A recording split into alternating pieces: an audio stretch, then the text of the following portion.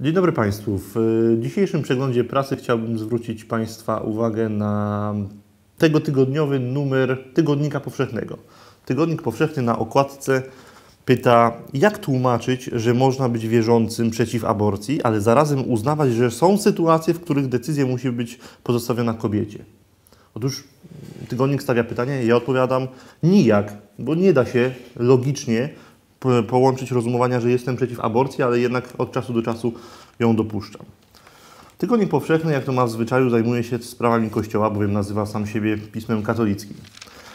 Pisze m.in. w tekście Piotra Sikory pod tytułem Papieski przewodnik po drogach miłości o najnowszej adhortacji papieża Franciszka Amoris Letitia. Już dawno zwracaliśmy uwagę, że jeżeli ta adhortacja mm, będzie napisana językiem takim jak e, końcowy dokument synodu, napisany jednak pod dyktando e, biskupów modernistów, e, wzbudzi ona pewne pęknięcie w Kościele. Mianowicie biskupi liberalni będą ją interpretować po swojemu, a biskupi konserwatywni po swojemu. Tygodnik Powszechny nie mógł pozostać jakby bezbarwny albo pośrodku tego sporu i, i przyjął od razu pewną interpretację. Jednak ta interpretacja idzie, drodzy Państwo, daleko dalej niż interpretacja chociażby kardynała Kaspera. Oto czytamy w tekście pana Piotra Sikory następujące zdanie. Franciszek wyraźnie zatem stwierdza, że to nie on, ani synod, ani biskup czy nawet spowiednik powinni rozstrzygać, czy dana osoba, choćby rozwiedziona i żyjąca w ponownym związku, może w pełni uczestniczyć w Eucharystii, lecz tylko ona sama. Drodzy Państwo, to nie Kościół już stwierdza, co jest grzechem, nie biskup, ani nawet spowiednik. I tu, drodzy Państwo, zwracam uwagę, podkreślmy to grubą kreską. Spowiednik nie jest już nam do niczego potrzebny według Tygodnika Powszechnego. Anulujemy spowiedź w związku z tym, tak? W tej chwili tylko własne rozeznanie świadczy o tym, czy jesteśmy w stanie grzechu, czy w stanie łaski. Po cóż spowiedź? Po cóż jakieś 2000 lat chrześcijaństwa?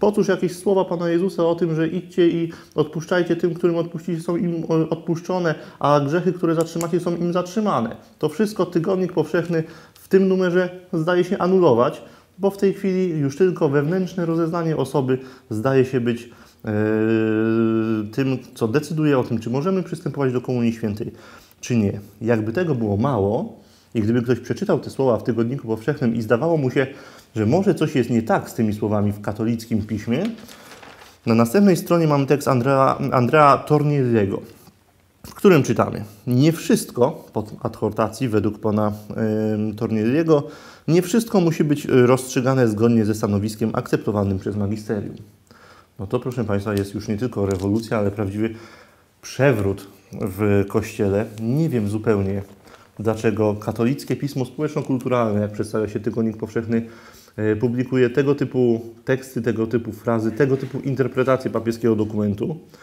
Wiem jednak jedno. Istnieje w Kościele od dawna spora grupa osób, które chcą, aby Kościół katolicki wyglądał tak jak wspólnoty protestanckie.